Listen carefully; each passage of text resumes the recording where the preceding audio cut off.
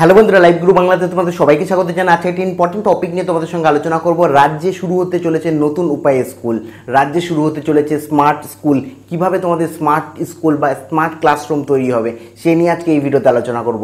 তোমরা যদি স্টুডেন্ট হয়ে থাকো, এই ভিডিওটি প্রথম থেকে শুরু করে শেষ পর্যন্ত ওয়াচ করো, কারণ রাজ্যে শুরু হতে চলেছে স্মার্ট স্কুল আর এখনও পর্যন্ত ভিডিওটিকে লাইক না করে থাকলে অবশ্যই ভিডিওটিকে লাইক করো এবং চ্যানেলে নতুন দর্শক হয়ে থাকলে রেড বাটনে ক্লিক করে চ্যানেলকে সাবস্ক্রাইব করো এবং বেল আইকন অবশ্যই ক্লিক করো। কেননা এখানে প্রতিনিয়ত স্টুডেন্টদের জন্য ভিডিও আপলোড করা হয়। তো চলুন বন্ধুরা, ভিডিওটি শুরু করা যাক। বন্ধুরা, তোমরা সবাই জানো কোভিড নাইন্টিনের মহামারীর কারণে লকডাউন থাকায় রাজ্য সহ দেশের সমস্ত স্কুলের পঠন পাঠন এখন বন্ধ রয়েছে। সেই কারণে বিভিন্ন স্কুল কি হচ্ছে অনলাইনে এ পঠন পাঠন চালু করছে এবং অনলাইনে শিক্ষা প্রদান করছে স্টুডেন্টদের কিন্তু এখানে সমস্যা এটাই হচ্ছে যে, এখানে যদি স্টুডেন্টরা যে অনলাইনে আসবে, সেক্ষেত্রে স্টুডেন্টদের কাছে তো ম্যাক্সিমাম ডিভাইসও নেই।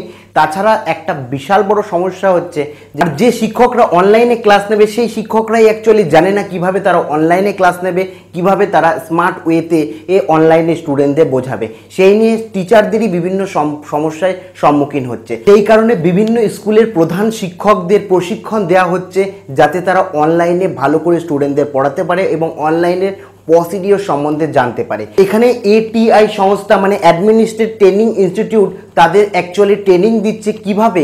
এ তারা অনলাইনে ক্লাস নেবে, কীভাবে তারা স্মার্ট ওয়েতে স্টুডেন্টদের বোঝাবে? এই সমস্ত কিছু শেখানো হচ্ছে অ্যাডমিনিস্ট্রেটিভ ট্রেনিং ইনস্টিটিউটে এবং এই ইনস্টিটিউটে কিন্তু দু হাজার আঠেরো সালের পর থেকে ইনস্টিটিউট তৈরি হয়েছে এবং দু হাজার আঠেরো সালের পর থেকে অ্যাডমিনিস্ট্রেটিভ ট্রেনিং ইনস্টিটিউটে কিন্তু বিভিন্ন শিক্ষকরা যখন প্রধান শিক্ষক হোক বা যে কোনো শিক্ষক বা গভর্নমেন্ট যে সার্ভিস যারা করে, তাদেরকে কিন্তু ট্রেনিং প্রোভাইড করা হয়।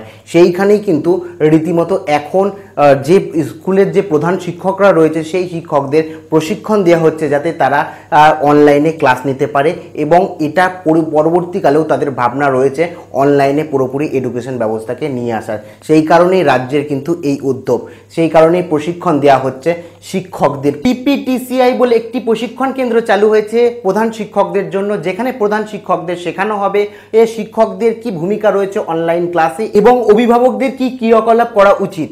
অনলাইন ক্লাসের জন্য। সিপিটিসিআই এর সিইও এবং কোর্স ডিরেক্টর গৌরাঙ্গ সাহা শেখাচ্ছেন প্রধান শিক্ষকদের কীভাবে অনলাইন ক্লাস নেওয়া হবে। অনলাইন শিক্ষা অনিবার্য, অবশেষে শিক্ষকদের সাথে রাজ্য বুঝতে পেরেছেন। সেই কারণে এ প্রচুর সংখ্যক স্কুলের শিক্ষক, প্রায় আট হাজার থেকে শুরু করে নয় হাজার স্কুলের শিক্ষক প্রশিক্ষণ নিচ্ছে এই পিপিটিসিআই প্রশিক্ষণ কেন্দ্রে। এবং শিক্ষামন্ত্রীও এই বিষয়কে সাপোর্ট করে নবম এবং দশম শ্রেণির স্টুডেন্টকে স্মার্টফোন দেওয়ার ইচ্ছে প্রকাশ করেন। যদিও তিনি বলেন এই স্মার্টফোন বিতরণের জন্য আর্থিক সাহায্যের প্রয়োজন। এছাড়া বিভিন্ন শিক্ষকরাও বলেছেন যে এই মুহূর্তে এ সাইকেলের পরিবর্তে যদি স্মার্টফোন দেওয়া হতো, এই লকডাউনের সময়ে স্টুডেন্টদের অনেক উপকার হতো। রাজ্যের প্রায় আট থেকে ন হাজার প্রধান শিক্ষক এই প্রশিক্ষণে যোগ দিতে পারবেন। এছাড়া এই প্রশিক্ষণের যে সিলেবাস রয়েছে এবং সিলেবাস সংক্রান্ত প্রশিক্ষণ দেবেন বিশেষজ্ঞ কমিটির চেয়ারম্যান অভিক মজুমদার। অনলাইনে শিক্ষা ব্যবস্থার সঠিক উপায়গুলো শেখানোর জন্য বিকাশ ভবনের এক্সপিরিয়েন্সের যে অধিকারিকরা রয়েছে তাদেরকে আনা হচ্ছে